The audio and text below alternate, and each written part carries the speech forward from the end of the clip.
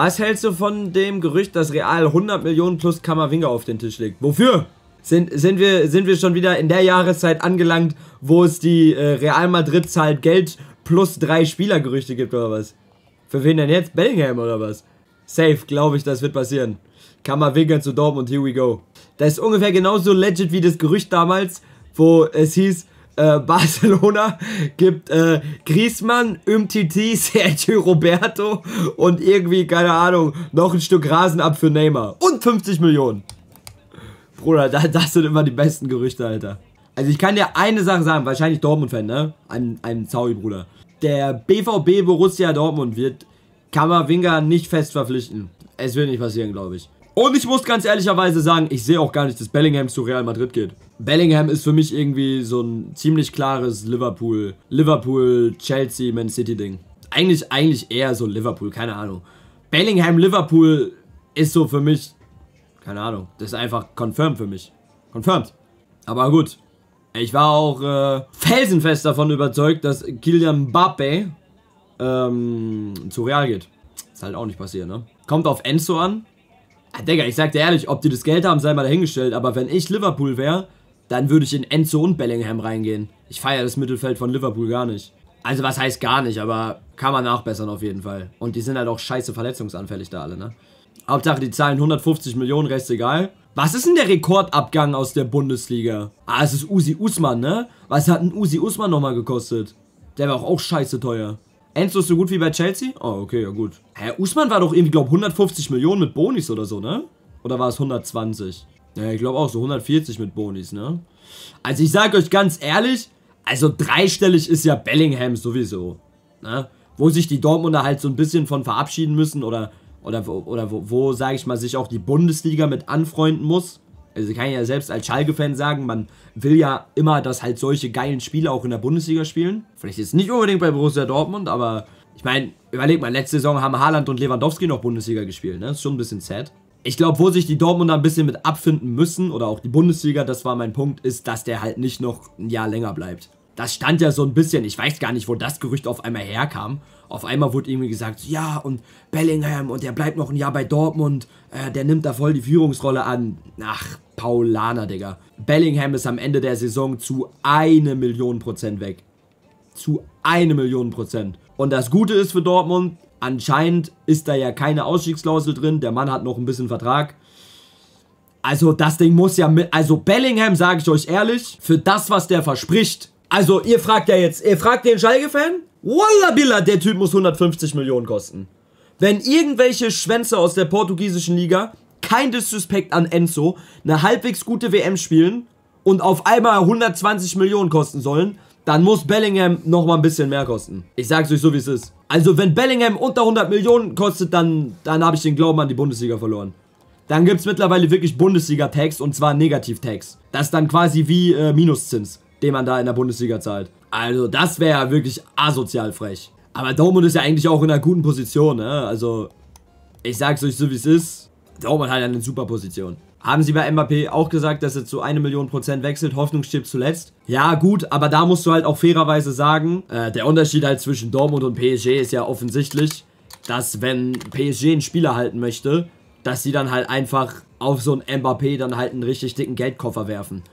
Weil PSG einfach ein Fußball, Fußballverein ist, für den die normalen Gesetze der Wirtschaftlichkeit halt nicht gelten. So, weißt du, wenn äh, Dortmund halt so einen Spieler wie Bellingham halten will, dann muss das halt alles irgendwo auch in einem vertretbaren Rahmen passieren. Aber was ist denn für Dortmund ein Ver Also jetzt mal ohne Scheiß, was ist denn für Dortmund der vertretbare Name? Äh, vertretbare Rahmen.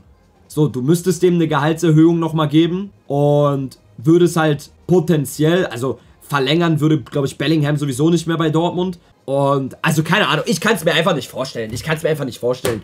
Es ist der perfekte Zeitpunkt. Bellingham spielt die beste Saison seiner Karriere, hat sich in, äh, bei der Weltmeisterschaft im englischen Nationalteam durchgesetzt und von seiner besten Seite gezeigt. Die englischen Vereine, anscheinend ja auch Real Madrid, werden sich am Ende der Saison um den kloppen. Und, ähm, dann wird am Ende ein schönes dreistelliges Millionensümmchen rumkommen. Und, äh, ja, also, ehrlich gesagt, also es gibt ja nun mal wirklich und das ist ja Fluch und Segen zugleich. Borussia Dortmund hat sich in den letzten 10 Jahren, 15 Jahren einen überragenden Ruf aufgebaut, was diese jungen Talente, diese Talentförderung angeht. Und dadurch hast du einfach diese riesige Möglichkeit, weil dir dein Ruf natürlich vorauseilt, einfach gefühlt jedes Supertalent auf diesem Planeten, wenn man sich frühzeitig um den bemüht, zu bekommen. Weil Dortmund einfach der perfekte Verein ist, um als junger Spieler deine Karriere zu starten. Aber, und das ist die Kehrseite der Medaille, dadurch ist halt nun mal Borussia Dortmund einfach ein Sprungbrettverein, wo halt junge Spieler hingehen, die dort halt zwei, drei, also im Idealfall jetzt, ne, sich zwei, drei, vielleicht auch vier Jahre entwickeln und dann wollen die halt irgendwann den größeren Schritt gehen. Und das liegt meines Erachtens nach gar nicht mal so krass an Dortmund, weil Dortmund hat ja super Voraussetzungen. Du spielst oben in der Liga mit, du spielst jedes Jahr Champions League. Dortmund ist ja auch zumindest mal ein Verein, der in den letzten Jahren dann in der Champions League immer mal wieder auch für Furore gesorgt hat oder halt auch gut mitgespielt hat. Ne, klar waren da auch ein paar Cha schlechtere Champions League-Kampagnen dabei wie letztes Jahr, aber normalerweise hast du die Chance, als junges Talent bei Dortmund dann jedes Jahr mindestens sechs, meistens sogar eher acht Champions League-Spiele zu machen. Das ist alles super.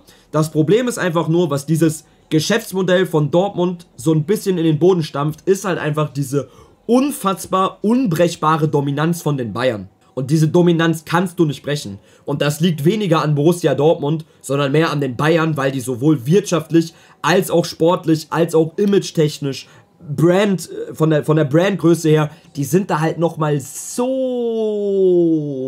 viele Jahre voraus. Deshalb ist die Liga einfach uninteressant. Und jeder Spieler will Titel gewinnen. Und irgendwann als junger Spieler, nach zwei, drei, vier Jahren Dortmund, denkst du dir halt, ey, guck mal, ich kann nach England gehen, da gibt es nochmal ein bisschen mehr Geld.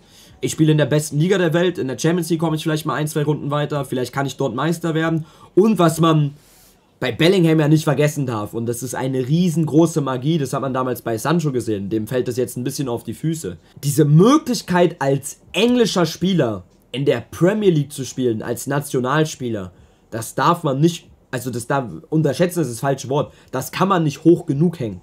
Weil wir alle wissen, wie die Engländer sind. Für die Engländer gibt es halt die Premier League, hier ist die Premier League. Ungefähr gleich auf ist die Champions League. Und dann kommt Jahre nichts, dann kommen Barca und Real und alles andere ist ein Farmers League Verein. So, also so ist bei vielen englischen Fans das Bewusstsein des internationalen Fußballs. Und du weißt halt auch als englischer Spieler, wenn du dich in der Premier League beweist, dann kannst du da zur absoluten Legende werden. Lustigerweise anders als in Deutschland. Lustigerweise anders als in Deutschland. Wenn du ein richtiger deutscher Top, Top, Topstar werden möchtest, dann musst du ins Ausland gehen, wie zum Beispiel Toni Kroos. Ja, okay, musst ist jetzt vielleicht übertrieben, aber ja. Mal gucken, was 2024 passiert mit Wirtz. Ja, was passiert 2024 mit Wirtz? Also, Bayern München kann ich mir irgendwie nicht vorstellen, weil ich einfach auf der Position Musiala geparkt sehe. Mir jetzt zumindest gerade so ein bisschen die Vorstellungskraft fehlt, Musiala und Wirtz in ein äh, System einzugliedern. Aber ich bin am Ende auch nur der FIFA-YouTuber und nicht Julian Nagelsmann. Vielleicht kriegt das hin, ne?